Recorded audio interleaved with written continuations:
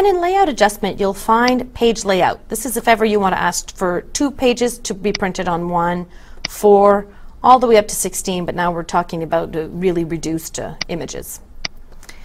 Up to four, if your um, uh, font is at least eight points, you'll see that it's still legible uh, with four up. You can also ask for a booklet creation from here. So you can say booklet options and okay.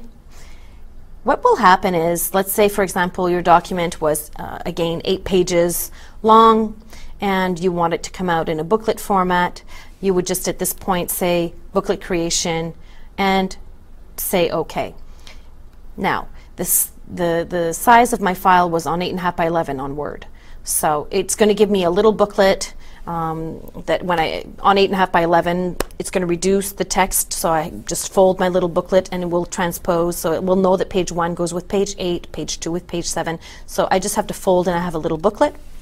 Um, if I'd like my book, book, booklet on a different size, this is where I'd come to my uh, paper tab and select other size and indicate what size I'd like on output. So for example, 11 by 17.